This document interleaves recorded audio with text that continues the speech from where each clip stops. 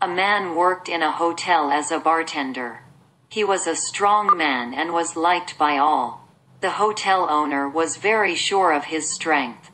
Every day the hotel owner would announce a bet.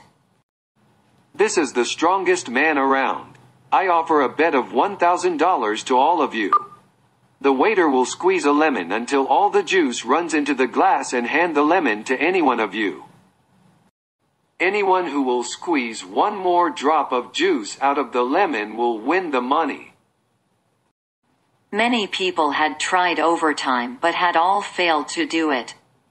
However, today, there was a new guest in the hotel. He was a little man and spoke to the hotel owner.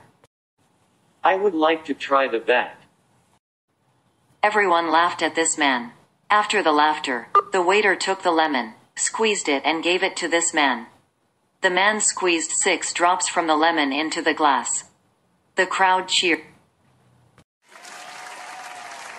Here is your $1,000.